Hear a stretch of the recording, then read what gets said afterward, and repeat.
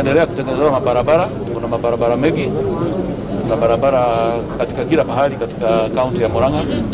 In the course ya kutengeneza hizo barabara tumekuwa na shida kubwa sana, kwa sababu uh, matrakta ambayo yanatengeneza hiyo barabara yameharibu mfereji, na katika kaunti ya Murang'a unajua maji yetu yote mengi yanatoka huku katika karibu na mlima Abadeas.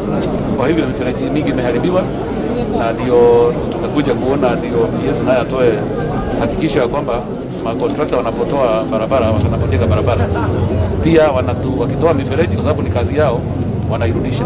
Ukija Kangema huku ndio zaidi, kwa sababu soko ya Kangema hasa hata maji yake ni kidogo.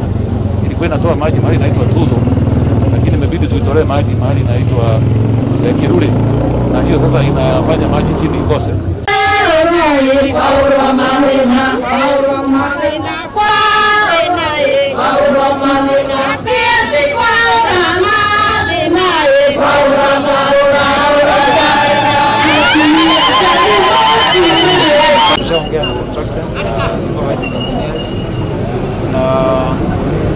Tukasikizana, because wakati tunajenga barabara ni lazima maji itakuzwa, lazima kwa barabara katikati. Lazima itolewe katikati, hiyo itolewe- ikae upande. So tunasikizana mahali popote ambao mfereji ya maji itakuzwa tutakuwa tunarekebisha kwa muda wa wiki mbili na isizidi muda wa wiki mbili, ndio watu wasikae bila maji sana.